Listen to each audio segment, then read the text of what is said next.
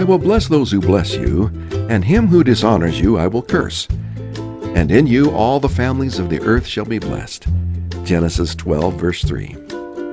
Father, thank you for the promise of blessing you gave Abraham. Even now, I am a recipient of that blessing through your Son, Jesus. This was an everlasting promise, and today it is in the process of being fulfilled. I pray for Israel today. Why have they always been so hated by the world? It is because they are your chosen people, and Satan hates them. Striking at them is an attack on you.